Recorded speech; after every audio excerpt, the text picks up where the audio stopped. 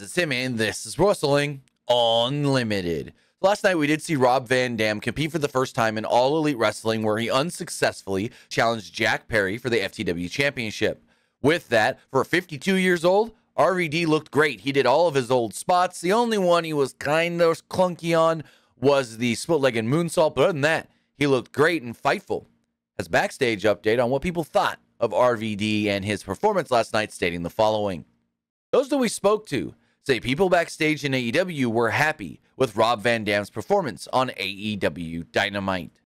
With that, it is good to hear that AEW officials were happy with Rob Van Dam's performance last night. I don't know if there's going to be another appearance by RVD in AEW going forward, or if this is just a one time thing and never again.